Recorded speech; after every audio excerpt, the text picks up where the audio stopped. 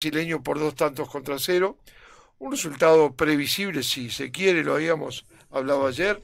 Habíamos dicho que el favorito era San Pablo y a la postre se terminó, eh, se terminó dando. Eh, sobre todo, yo creo que cuando vos salís a jugar un partido a tratar de defenderte, a tratar de que no te hagan un gol, generalmente se terminan perdiendo ese tipo de partidos. Y hoy no fue la excepción. Eh, ayer yo les preguntaba a los compañeros, este, vos Matías no estabas, si, si Diente López no, no, no, no debería jugar desde el arranque. Y me decían, no, porque físicamente no está. Yo entiendo que no estaba para jugar 90 minutos ni, y tal vez ni siquiera 45. Pero yo les recordaba eh, cuando estuvo por Sudamericana, cuando, cuando Suárez empezó a jugar en ese partido, ya Nacional estaba prácticamente eliminado. Y yo creo que hoy pasa exactamente lo mismo. Yo creo que hasta que no se cambie un poco la, la forma, eh, por supuesto que también no voy a responsabilizar ni a los futbolistas ni al técnico de algo que va mucho más allá. Yo felicité públicamente a la directiva nacional cuando se dieron las dos incorporaciones, tanto la de Coates como la de Nicolás López. Pero también creo que el dirigente tiene que estar un poco más lejos. En eso tiene que ser más un estadista y ver las cosas con un poco más de, de distancia. Y Nacional no perdió el campeonato hoy, Nacional perdió el campeonato con el anterior periodo. Si vamos a un partido, para mí lo perdió en, en, Paraguay, en aquel partido donde Libertad ya estaba eliminado, donde sabía que jugaba Sudamericana, donde tenía un clásico eh, por el torneo paraguayo y, puso varios de los suplentes para, para ese partido. Un partido que Nacional va ganando 1 a 0 y termina, y termina eh, a la postre este, perdiendo 2 a 1 ese un empate ya le hubiera puesto a Nacional por encima de Olimpia. Hoy acaba de perder Nacional, no sé, porque nunca se, se supo al final la cifra exacta, pero póngale 6, póngale 8 millones, lo que sea, por la, Copa del Mundo, más dos concretamente que pierde por no seguir en fase de Libertadores, porque el premio que paga la Conmebol es un millón setecientos mil dólares, más la recaudación de un partido de local, o sea que estábamos hablando de superar los 2 millones de dólares.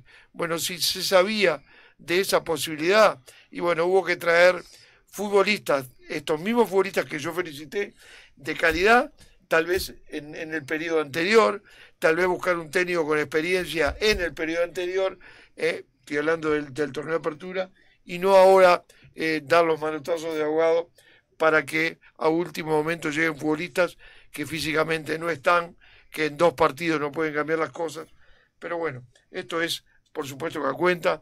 Lo que más importa acá es la opinión de Matías Porra, de Miguel Pastorino, de Felipe Rego, de nuestros compañeros. Así que a ellos voy, señores. Matías, buenas sí, Primero complicado eh, comenzar hablando en un programa de fútbol que que debíamos comentar, eh, o, en la normalidad del caso debíamos hablar de, de, fútbol, sea cual sea el resultado, eh, en este caso una derrota de Nacional que, podía desprender muchos conceptos de, de, lo que fue el partido en sí, decisiones técnicas, creo que hoy pasan a un segundo plano eh, por, por, la situación que está viviendo eh, Izquierdo y todo Nacional, todo su entorno allí en Brasil.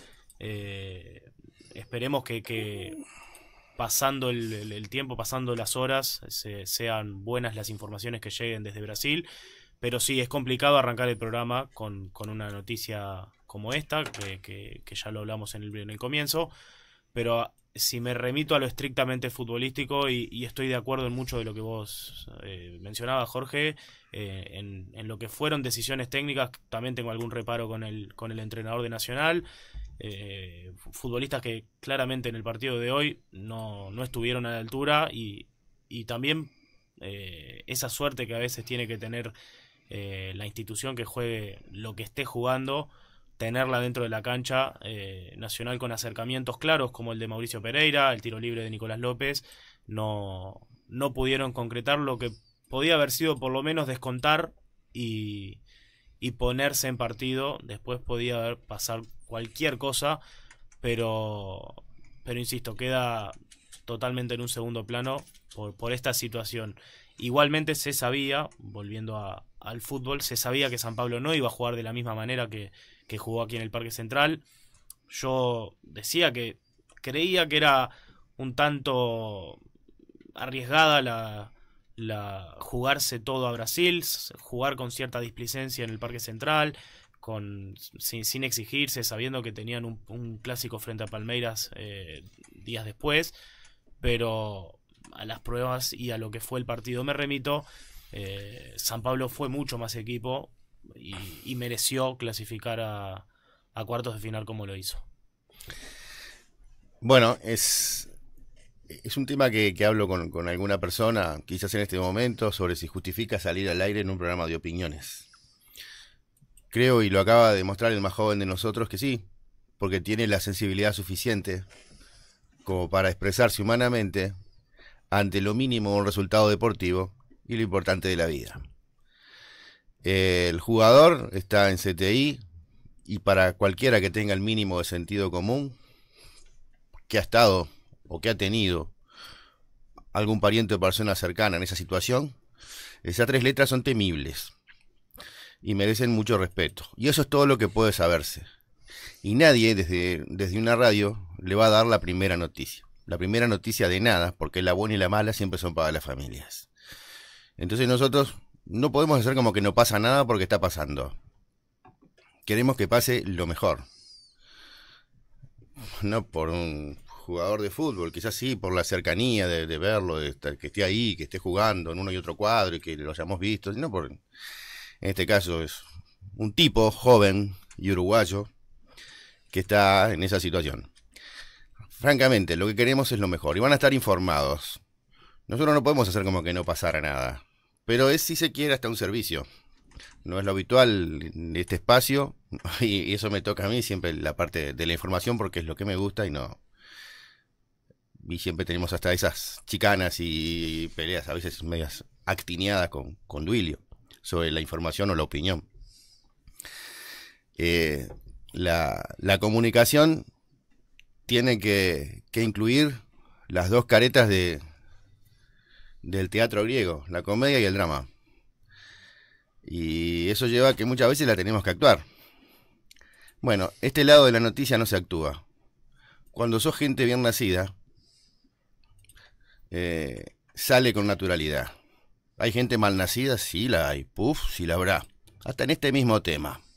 Las abominables cloacas sociales han dado muestras de ello cuando el jugador estaba cayendo.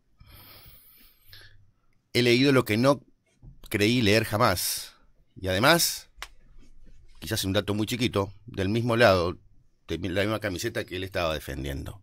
Cosas asqueantes limitando todo a rendimientos deportivos.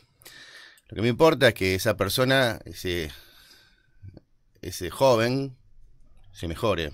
Y es lo único que me importa, que la familia pueda obtener a partir de buenas noticias la tranquilidad. Lo que pase de aquí a las 12, aquí estará, porque hay gente que está en el Albert Einstein, que es uno de los mejores sanatorios de, Sudamérica, y repetimos, está en terapia intensiva. Al momento, los jugadores, como estaba informando Juan Pablo, como hizo Martín, Olivera, Martín Charquero, eh, no querían abandonar el estadio, el Morumbí, pero es muy posible que lo terminen haciendo ellos y que quede una delegación mínima de, dirigentes de Nacional en el, en el sanatorio.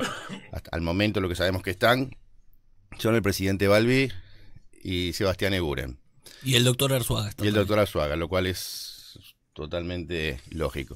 Eh, la relación de hechos, por si alguien no lo vio, muchos de nuestros escuchas, sobre todo de nuestros escuchas de esta hora y de esta radio, es gente que está trabajando, que está siempre, tenemos muy presente a nuestros colegas taximetristas, taxistas, que no, no están mirando la, la pantalla. El jugador se desplomó solo. Eh, se aproximó primero Lozano, ya estaba en cancha Nicolás Rodríguez, que hizo un, gesto de alguien que, tiene alguna idea de qué hay que hacer. Con algo intentaba eh, que el jugador no se tragara la lengua. Eh, ingresó el primero el carrito, luego la ambulancia. La ambulancia obstruyó la cámara con por suerte. Eh, y cuando el jugador mostró algún movimiento, recuperó el conocimiento, lo subieron a la camilla y lo trasladaban al sanatorio. Antes de llegar al sanatorio, volvió a perder el conocimiento y es lo, es lo único que fehacientemente se sabe. Además de eso, hubo un partido. Del partido, si quieren, en algún minuto. Del partido no puedo hablar mucho porque después de lo que vivimos hoy no se puede decir muchas cosas.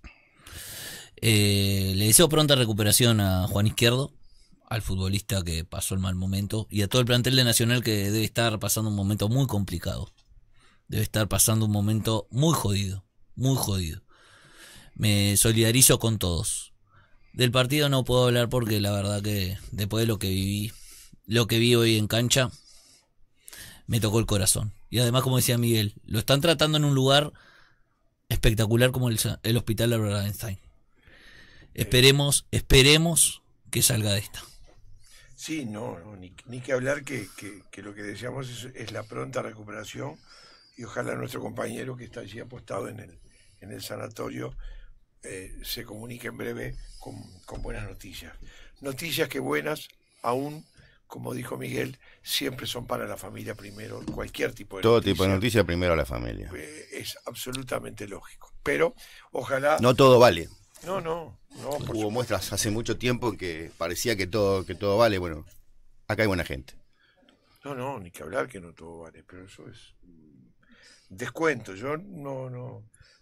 Yo al contrario, acá, por supuesto que hay, hay como vos decías, Miguel, hay, hay de todo y yo acá lo que veo es gente preocupada que nos, nos pregunta qué se sabe de Juan Izquierdo, pobre, cómo está. Hay gente mala, sí, hay gente que no merece. O vos decías recién, para, para repetir tu palabra, bien nacidos y mal nacidos sí hay en todas partes, lamentablemente. Pero obviamente nos preocupa mucho el estado de salud del, del ser humano, del deportista, más allá del partido. Pero del partido vamos a, a tener que, hablar. Vamos sí, vamos a usar el partido como un pretexto de tener el canal de comunicación abierto, con, con muy buenos comunicadores que hay, que hay en el lugar de los hechos y que sin integrar un, equipo que, que, no, que no integramos, eh, lo sabemos muy responsables y que vamos a decir lo que haya cuando haya algo para decir. No vamos a estar acá rato utilizando eh, morbosamente, aprovechando morbosamente eh, la situación. vamos, Cuando haya algo lo vamos a decir, el programa es en vivo. Totalmente, totalmente.